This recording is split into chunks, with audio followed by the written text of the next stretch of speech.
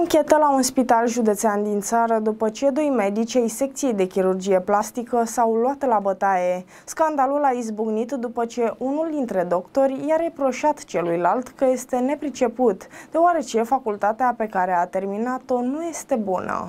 Conform Antena 3.ro, este anchetă internă în Spitalul Județean de Urgență Buzău, după ce doi medici din cadrul secției de chirurgie plastică s-au luat la bătaie. Totul s-ar fi întâmplat pe secție sub privirile pacienților și a cadrelor medicale. Medicul Alexandru Mahovici a spus că a fost lovit cu pumnii și palmele după o ceartă cu doctorul Mihai Tache și că nu se afla la prima altercație cu acesta. Mahovici a declarat că, fiind din Replica Moldova, colegul său i-a reproșat frecvent că este un medic nepriceput, deoarece facultatea pe care a terminat-o nu este una bună. Protagoniștii scandalului vor ajunge în fața Comisiei de Disciplină. Conducerea s-a autosesizat și a dispus efectuarea cercetării evenimentului, iar în funcție de rezultatul acesteia se vor dispune măsuri în consecință. Facem precizarea că Spitalul Județean de Urgență Buzău se disociază de astfel de comportamente și are toleranță zero față de acestea, a transmis conducerea Spitalului Județean de Urgență Buzău, potrivit adevărul citat de Antena3.ro. Conform site-ului ziare.ro, dr. Mahovici susține că ar fi fost lovit de doctorul Tache și că nu ar fi prima oară când s-ar fi întâmplat astfel de scene potrivit medicului. Luni mi-am luat liber o zi de concediu și am sunat-o pe doamna asistentă din policlinică să interneze un pacient cu niște lipoame. Marți, după ce am ajuns la serviciu, am coborât să consult un alt pacient și am primit un apel de la doctor Tache să vin de urgență sus. Apoi m-a agresat verbal, mi-a zis că sunt bou prost și mi-a aplicat câteva palme la cap. Apoi am înțeles că era vorba despre pacientul care avea niște lipoame mai mari și nu se putea opera. Am externat pacientul și domnul doctor m-a luat pe mine să-mi facă referate la Colegiul Medicilor și Consiliul de Etică cu privire la pacientul respectiv, deși nu l-am operat, l-am externat imediat. Am fost lovit chiar pe secție, am și martori, două asistente care m-au văzut și mi-au zis să nu las incidentul să treacă, să iau măsuri. Nu este prima dată când se întâmplă. Dr. Tachi a mai fost violent față de mine, nu doar verbal, mi-a mai aplicat același tratament, a declarat acesta pentru șansanews.ro. Medicul care acuză că a fost agresat de colegul său spune că va merge mai departe până îi se va face dreptate, relatează site-ul ziare ziare.com